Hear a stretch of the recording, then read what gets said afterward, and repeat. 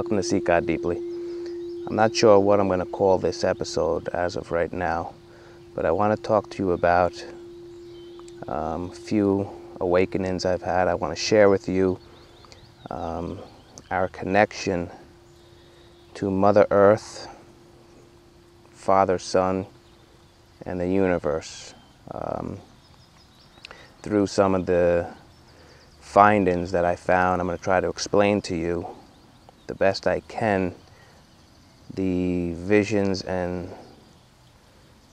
understandings of this concept. It is a concept because it is coming from the human mind. And this whole episode really is about unattaching yourself from the human mind. But unattaching in the spiritual sense does not mean letting go and not having anymore. Because in the spiritual sense, there's always balance. There is always loss in order to have gain. But it's your concept of loss. Uh, I'll talk about that a little later. What I want to talk to you about is the first thing that I read about was a gentleman named W.C. Schumann. And back in 1952, he did some uh, mathematical equations and found out that the vibration frequency of Mother Earth is 8 hertz, 7.83, 8 hertz.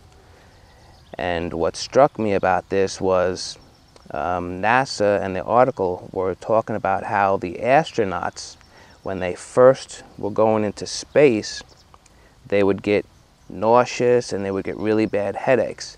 But the moment they returned back through our atmosphere, all of that would disappear. And it later was found out that the Schumann resonance, that's what it was called after, they, uh, after the founder, um, the Schumann resonant of 8 hertz is something that the human body needs.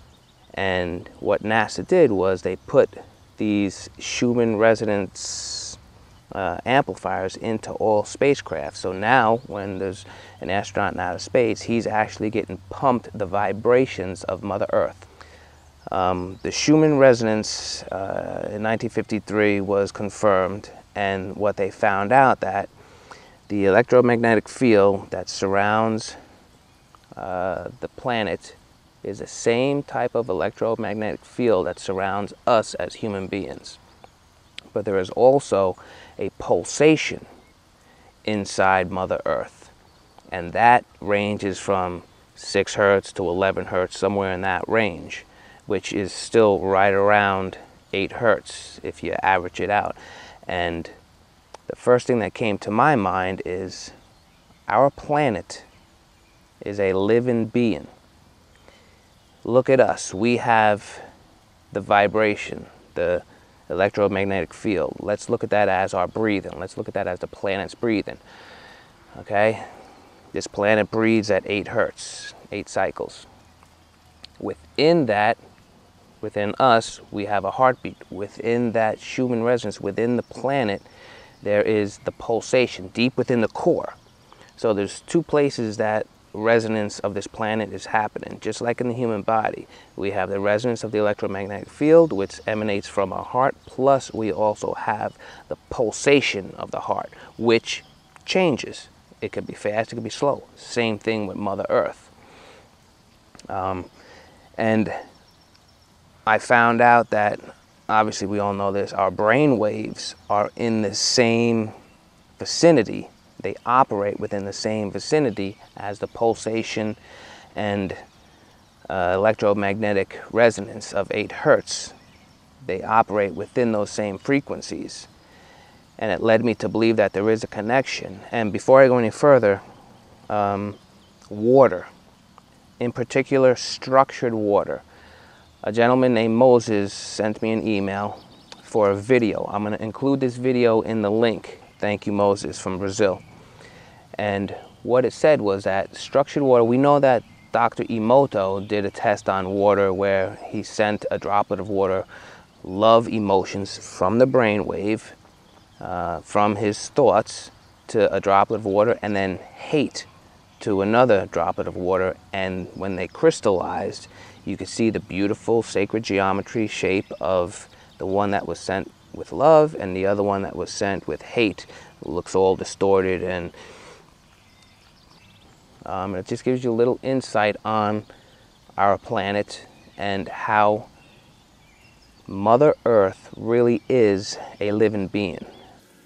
The structure of water is much more important than the chemical composition. The structure of water means how its molecules are organized. We can see how water molecules join together into groups. These are called clusters. Scientists came up with the idea that these clusters work as memory cells of a certain sort in which water records the whole history of its relationship with the world, as if on magnetic tape. People don't think when you turn on the light, the water is changing. When you turn on the electric field from the power lines, the water may change. So that is the direction of research. The water, of course, remains water, but its structure, like a nervous system, reacts to any irritation Modern instruments have made it possible to record the fact that within each of water's memory cells, there are 440,000 information panels, each of which is responsible for its own type of interaction with the environment.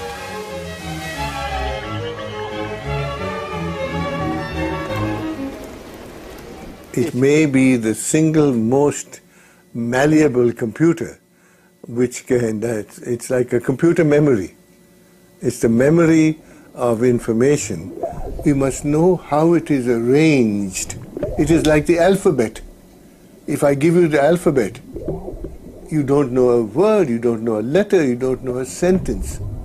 So the molecular structure is the alphabet of water.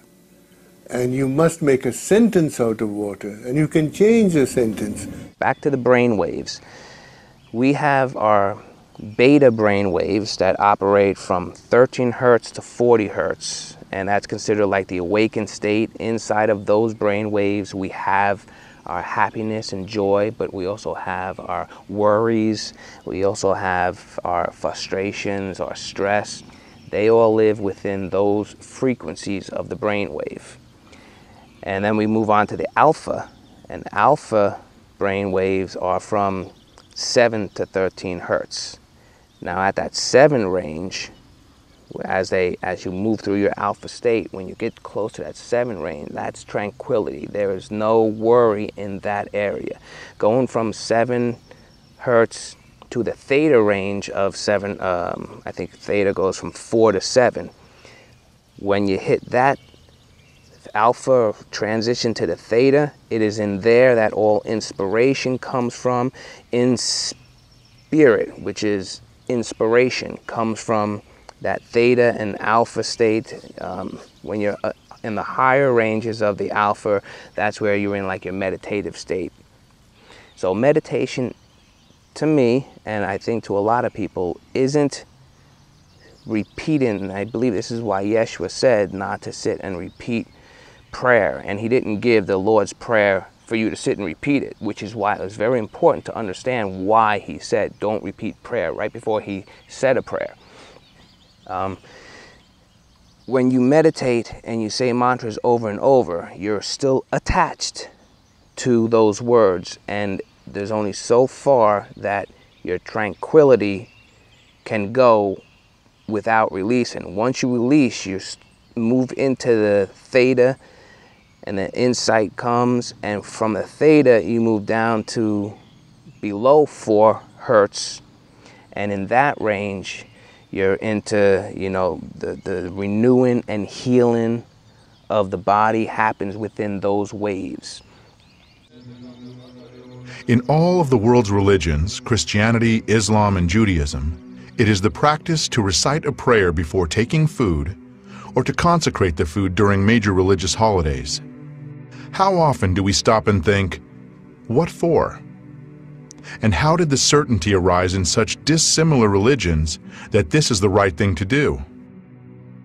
Why did something that science is only now trying to understand seem obvious to our ancestors? It turns out that the frequency of vibrations in the prayers of any religion, uttered in any language, is 8 hertz, which corresponds to the frequency of the oscillations of the Earth's magnetic field. Therefore, a prayer, pronounced with love, creates a harmonic structure in water, which is an ingredient of absolutely all food. We now have some idea about how this happens through the structurization of water clusters, water molecules. Therefore, we can take some purely practical advice from this. To sit down at the table in a very good mood, and under no circumstances to dine with cruel or aggressive-minded people, because this will have a direct destructive effect on our health.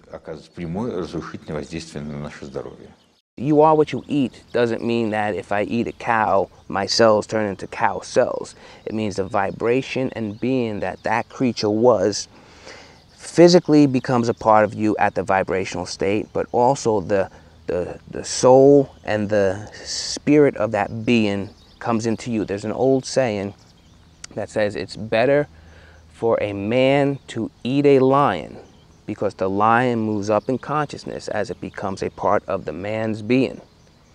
But beware of the lion that eats the man, for the man now moves down. And that could be that could mean that the man who consciously uses the gift of the mind to do evil things, to do animalistic things, is low in the conscious. That's what I get from that saying. Um, I think it's an old Aramaic saying, actually, from uh, Yeshua's time. But when you take into consideration music and how you could have different instruments, but if they harmonize frequency wise together, something beautiful happens. Well, we have our sun, which is totally a different makeup, not really, but a different makeup than the earth, which is a different makeup from us. But we are playing a symphony together.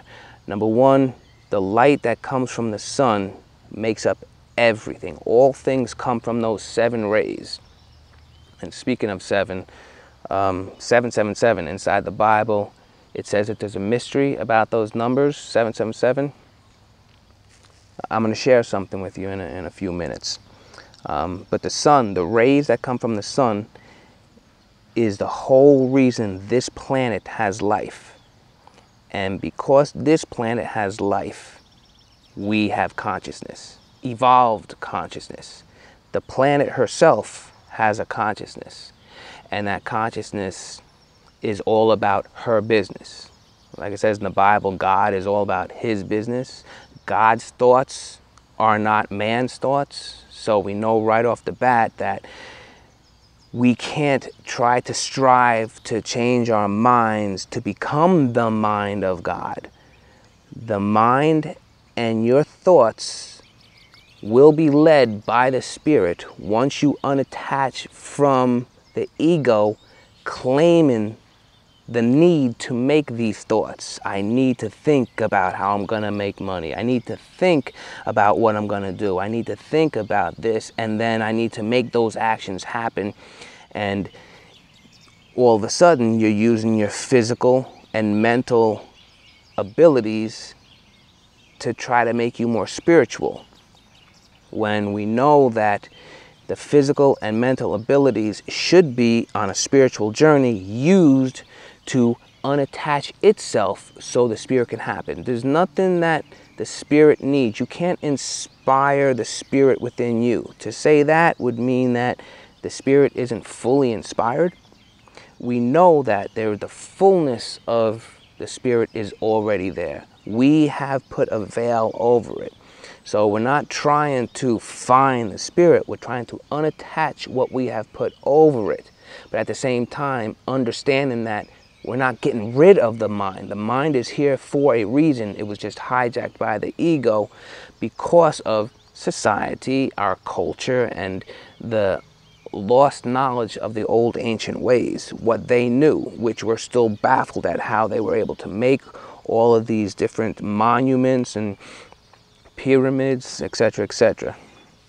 Um, but let's talk about 777. Um, from the sun and all stars, it gives off electromagnetic waves, and there's seven different types of them. Um, there are you have the radio waves, the microwaves, the infrared waves, the visible waves, which is that's all we can see out of all those waves. Ultraviolet rays, X-rays, and gamma rays. There's seven of those that come from the sun. And that is the only reason those seven, if they were any different, then the makeup of this planet would be different. Um, so my first seven is it took God seven days to in Genesis to create creation. And I'm going to jump into the first parts of Genesis too. Um, linking the first parts of Genesis to an actual wave, one cycle. Um, but anyway, you have the seven days of creation. You have the seven electromagnetic radiation waves from the sun.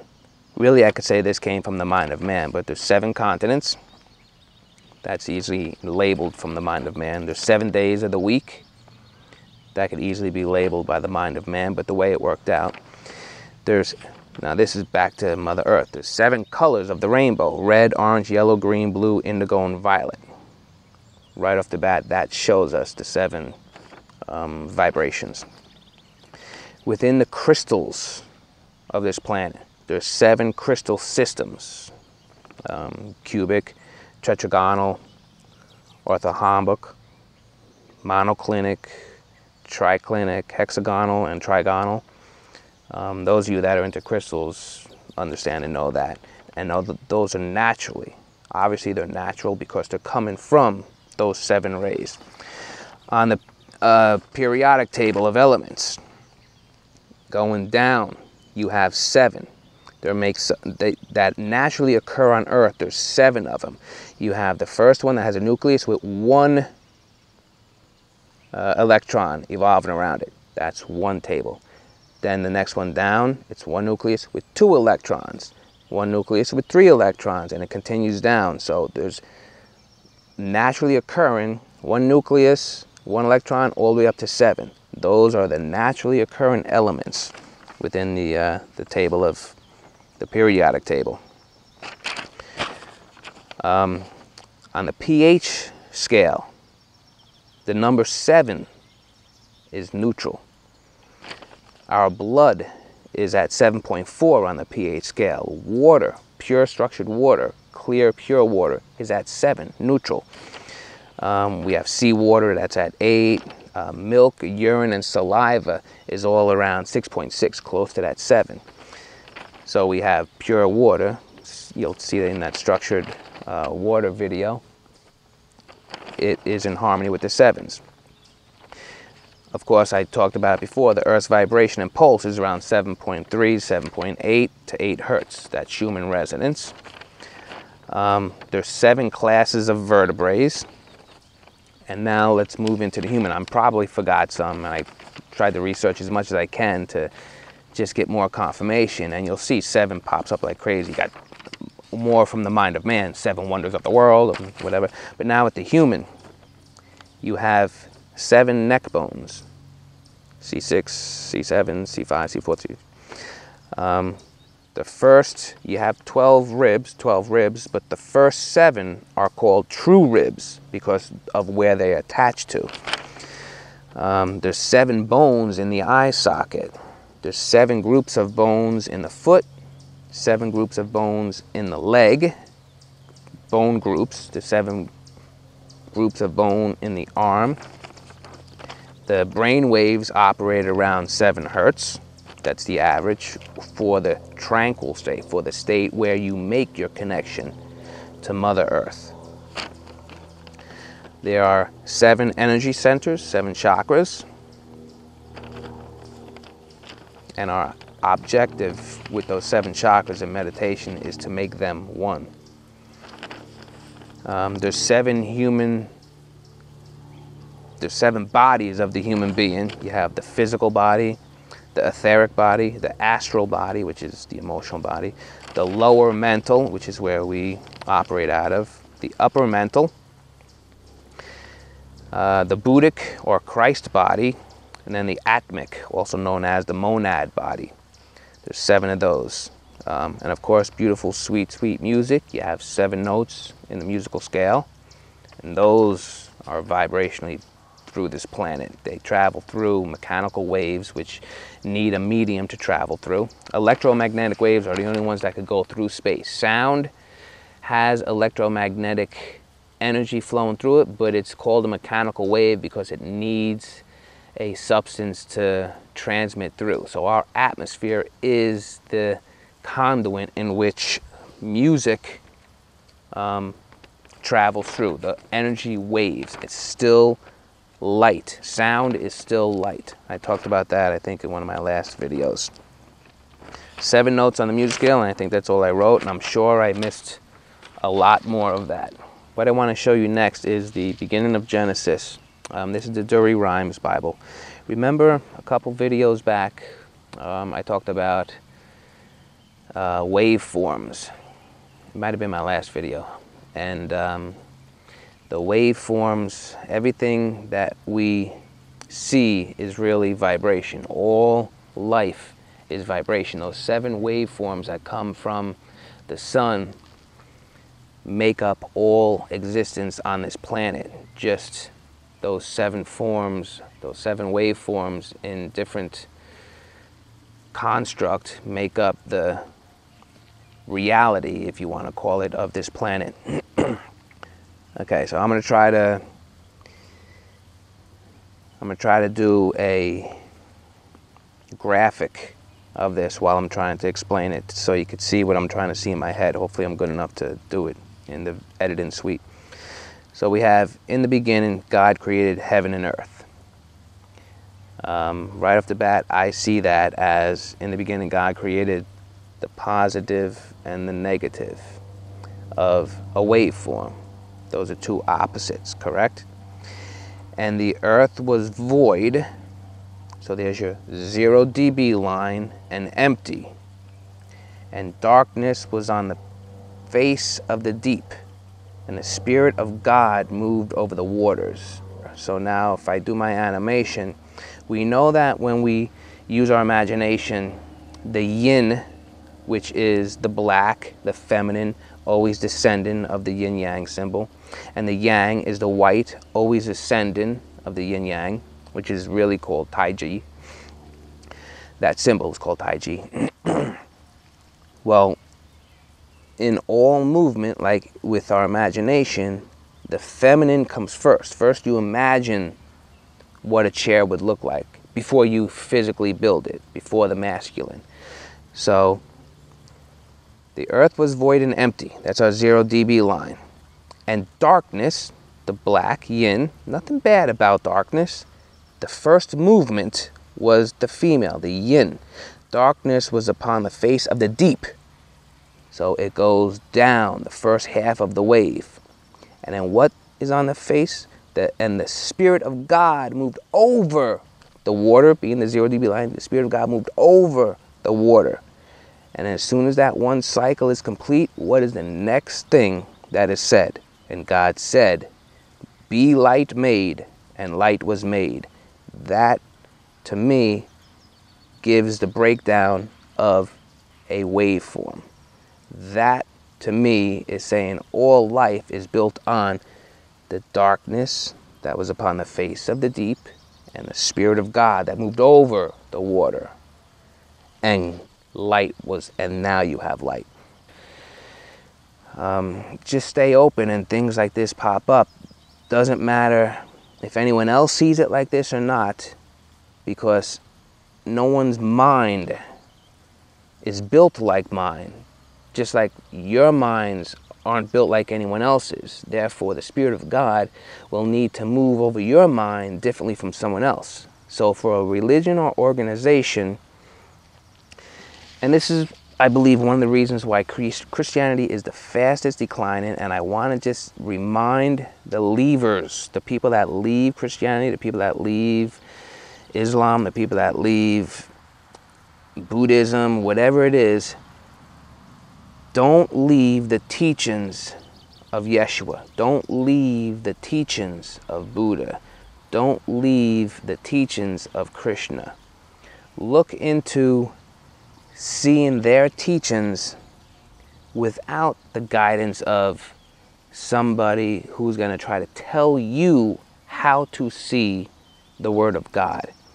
And they're going to tell you that the Word of God is inside of a book.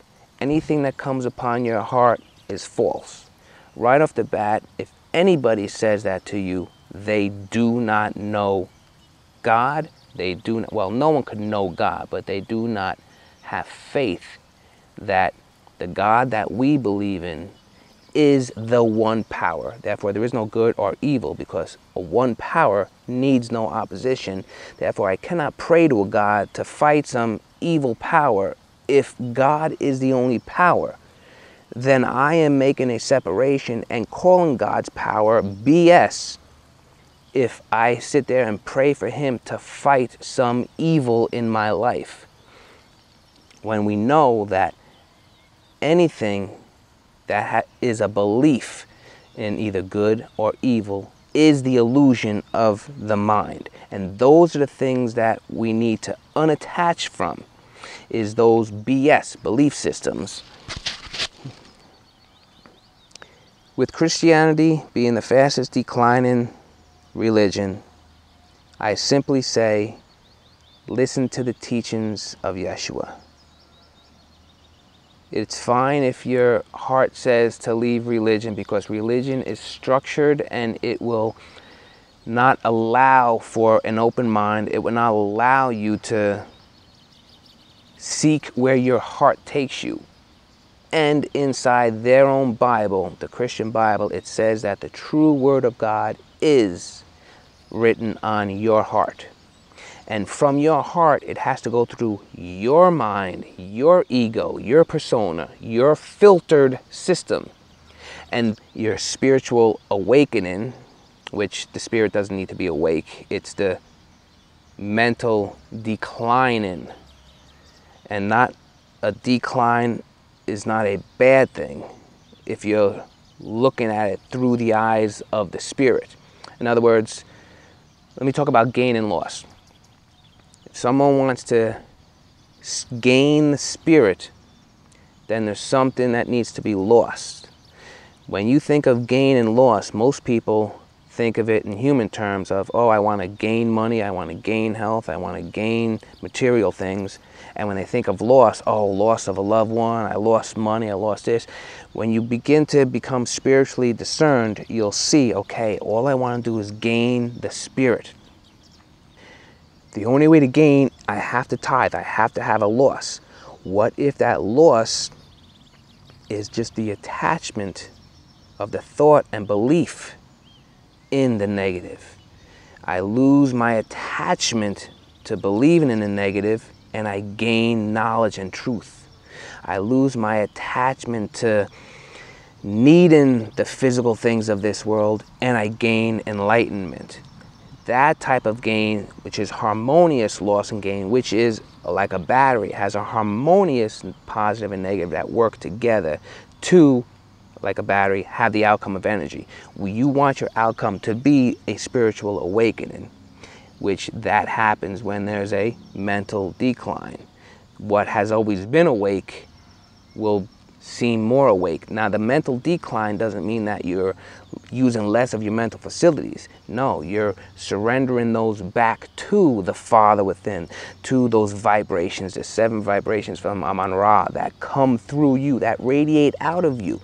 The etheric body takes those seven rays in, and at the same time, that etheric body allows those radiations to come out. And that's how people see auras. It's through that etheric relationship between Mother Earth, Father Sun, and the Great Spirit Universe. Um, so let me show you this video from Ishwar Puri. He talks about spirituality, not being a religion. I'm just, I want to show you this just to introduce you to him. Um, Ishwar Puriji, I found him on YouTube and his videos just amazed me. They had a lot of, they talk a lot about the mind and you'll get insight on how to be in this world and not of it. How to live, but yet not I that live, the Christ lives my life. And the Christ is that higher um, body of humanity. In other words, when I talked before about those seven bodies uh, of human, you have the etheric, physical, etheric, astral, lower, upper mental, and then you have the Buddhic and Christ body. That Buddhic and Christ body consists of the Christ mind, the mind that was on Christ, the Buddha enlightenment. Um, so check out this video from Ishwar and uh, introduce you with this one and I'm going to show you another one a little little later. So check this out. Spirituality has been twisted into religions. Spirituality is one. We are one same spirit. Religions are many. We made them up. Religions are all man-made. Spirituality is the truth inside. We have twisted spirituality, and instead of finding the spirit, we are going around changing the rituals to be done outside in this world, and we call it religion. Outside rituals and ceremonies are being called religion, where a true spirituality of going within and finding who you are has been left behind. I go to the temples, the churches, the synagogues, the gurdwaras of every religion. And what are they doing? Outside. You can chant as much as you like, you can sing as much as you like, you can get peace of mind and enjoy it as much as you like. You don't go inside. Nobody goes inside like that. So, spirituality is not doing something external, it is to go within. And all spiritual traditions say the truth lies within. How are we ignoring it? So, when I say, let's meditate, I'm never saying follow rituals. Nor am I saying change any religion. Because all religions are saying the same thing. They are saying the kingdom lies inside, go within. Why aren't we going within? We rather go outside to a church. Why can't we go inside? There is no greater church, there is no real church except this human body. And the truth lies inside this church, inside this temple.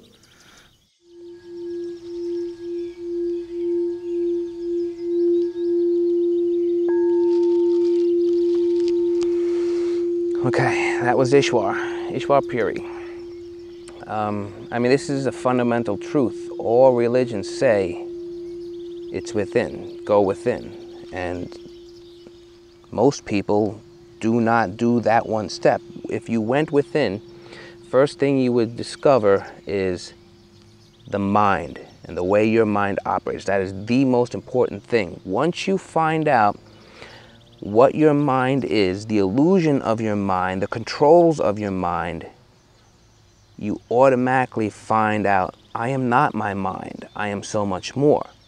Then you know a fundamental truth of every other neighbor that we have, that there's two parts of them. There's that fundamental truth that you and them are one in, that you share in that spirit. Then there is that mind of that person that most people always argue over, and this person through this mind hates that person or loves that person. All resistance happens from the attachments here. In here are God's thoughts. When you go within, you start to see how your mind operates. You start to realize your connection to everyone else is beyond that persona of our minds. You begin to see the importance of the physical and mental connection of this mind and this body and how those two can open that still small voice, can open that gateway into the spiritual realm. Um, when you use the physical and mental realms, you have to remember that they are one realm. And when you're seeking spirituality, when you're going deeper within, you're to be using physical, which is chanting, om, om, sounds, and you're to be using your mental, chanting, listening, visualization. But those are only meant to connect. In other words, remember the old modem? You would dial up. The telephone was used to make the connection, but the connection was those bleep, bleep, bleep, those vibrational sounds. And that connected you to the internet back in the day. A lot of you younger viewers probably saying, what, a dial-up modem? What is that? Um, but we know that not by might, physical, nor by power, mental, but by the Spirit, says the Lord. I think that's, uh, and the Lord is the law. Whenever the Bible talks about the law, like if you take the Aramaic Bible, you'll see that they use the word Elohim. They, you see that they were, use the word Yahweh, and you'll see that they use the word uh, Lord, uh, Maria. Maria is talking about the laws of God that are unchangeable. And the laws of God are always the ones that you see punishing and everything. Of course, mathematics, there's the laws of mathematics. If you get 2 plus 2 equals 5, the punishment is already written within that law. When God created the heavens and earth, it was Yahweh, it was pure love. Beautiful things happen. And then you have the Elohim. The Elohim are all the many that make up that one. And it's all those many that, when God said, let there be light, those many were created. Those many are, to me, the sun. They hold the seven rays. This planet, they hold the seven rays. Us, we hold the seven rays. We are within that seven, seven, seven. Um, so it's not by might nor by power, but we need the physical and mental to pre pre prepare. So in that preparation, when you go in to seek you'll find the mental and the mental release and unattachment will open up another part of your mental. The lower lower mental has different variations. Once you get to the higher parts of the lower mental you're moving your mental body into a readiness to receive the information from the upper mental and Christ and Buddha mind and body. When we release our mind from feeling it needs to do anything, the mind begins to show you ways of connecting back to the planet because your connection to the Great Spirit has to go through these channels.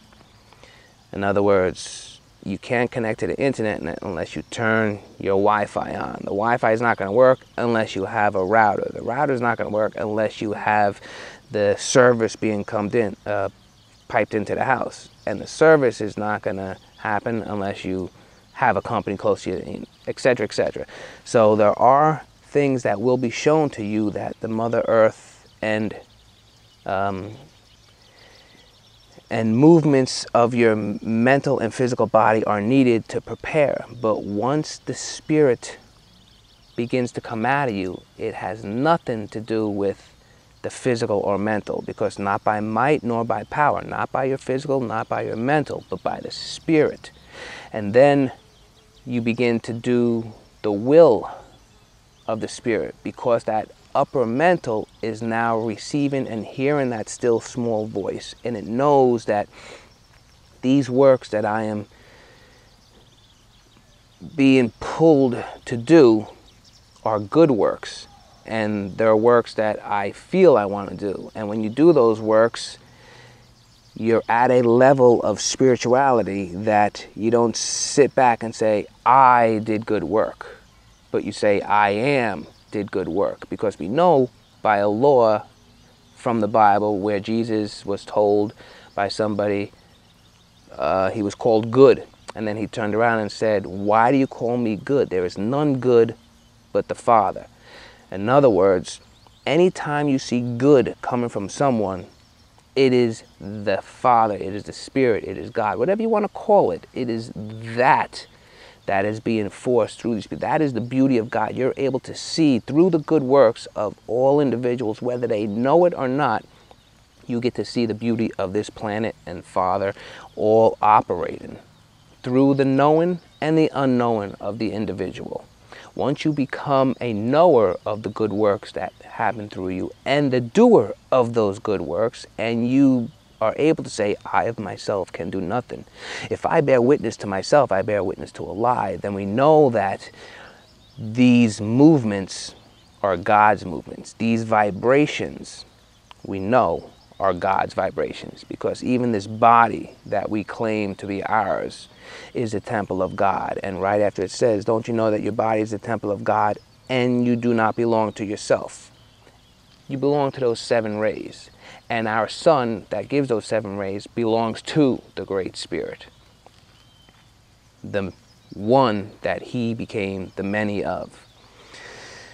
So I'm going to show you a video from Ishwar talking about karma because a lot of people get stuck with unattachment from the mind because of their belief in karma. And the story of Apostle Paul should show every one of us that no matter how bad you are, within this lifetime, it can be switched, it can be turned around. It can be as a murderer, like Paul was, murdering those who followed that spiritual movement, all of a sudden turned and became an advocate for that spiritual movement. So, what I get from that is karma can only exist in the mind, and your belief in it will keep you attached and bound to it. So your attachments must include attaching, uh, uh, unattaching your belief systems, and you're going to have to go through your belief systems, and that's why the most important thing that all religions say is to turn within, because no one is going to lie to you less than yourself. You may get lies from priests, pastors, rabbis, whether they're doing it willingly or unwillingly, it may be a very innocent lie because of their ignorance through their teachings or whatever happened to them. In other words, when you have your awakenings, when you have your belief systems being looked at by your own soul, it's not going to lie to you. And it will reveal to you the truth about karma. It will reveal to you the truth about your mind its function the ego the i am of you. That i am that sits behind the awareness and seems to watch your thoughts. And in times of meditation you're able to step back and look at your thoughts. Who is that looker? Lose karma. It's not real. It's part of the mind. Take a look at this video from Ishwar. And, um, and then we'll probably end it here. So take a look at this video from Ishwar. Because karma is created by the mind. The soul has no karma. Soul never had karma. In a true home, there is no karma. Karma is created when we come into the world of the mind. The world of the mind has been created through time and space, through past, present, and future. It's a very big illusion. I'll tell you why. When we say we are living in time, what do we mean living in time? This means we have a memory of past. We have a hope for future. And we are living in the present. Now examine this carefully. If we are living in the present, how long is present? Is it five minutes? Is it one minute? Is it zero minute? You will find present has no time. The moment I say now, it's past. Before I said it, it was future. Where is the present? And we all say, live in the now. Well, we are living in the now. Can we live anywhere else? Somebody gave me a book saying, live in the now. I said, where else are we living? I can't imagine anybody living anywhere except in the now. We are always in the now and the here. We never go anywhere. There's no there and there is no uh, any other time except now. And now has no time. Now, this is the very big, strange kind of experience we are having that we're living only in a timeless now, yet we feel we are having going through time. How can we feel that there is time when we are always in now, which is timeless? The reason is that the short period just gone, which is actually memory of the few minutes gone behind, gone behind us, gone just away from us, we call present. We calling the immediate past as our present. That is why it's a mistake to think it is now because just past. Every word we speak is already past. So, immediate past is now. Immediate past is present for us. What is past? What is gone already, what has already happened, how do we know there is a past? Only one way memory. We can remember it. Supposing we did not have memory, there will be no past. And if there's no past, there will be no present, there will be no now. So, the creation of past and the present is because of memory. Now think of future. What is future? Let us imagine that these three words hope, fear, anticipation, which are really the same thing. They are all anticipation. A good anticipation is called hope, bad anticipation is called fear, anticipation neutral. Supposing these three words disappear from our dictionaries in all languages, future disappears along with them. Did you know? Except for these three functions in our consciousness, there is no future. If we stop hoping, if you stop fearing, there is no future at all. Now, when we hope for something, it is done in time in the immediate past. If we fear something, those fearful things in our mind are in the immediate past. The truth is that what we think is future is also past. So everything is past. Future is past, present is past, and actually past is past also. The only way to recover past is through memory.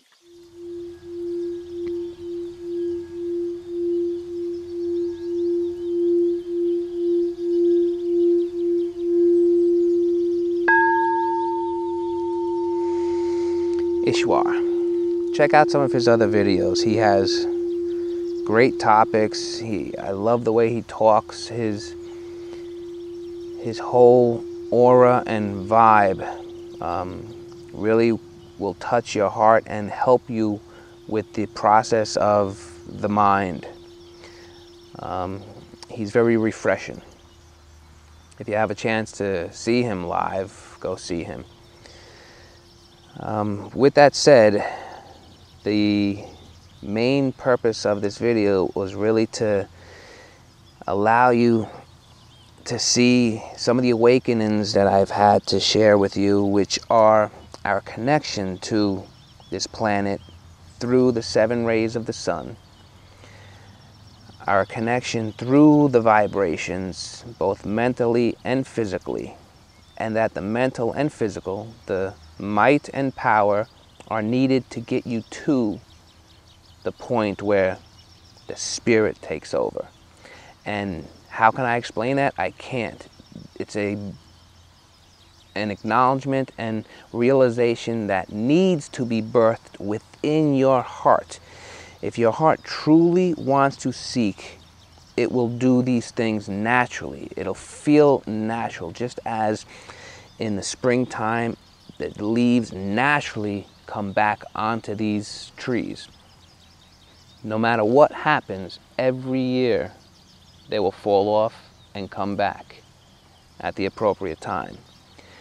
At your appropriate time, when your heart is in that right center and your desire is that only you receive whatever the Spirit is, not for monetary gain, not for uh, recognition, not for any status gain, but if you do it because your heart is ready, compassion is there, and your being has put you in a point where the desire to know yourself and God are right come together.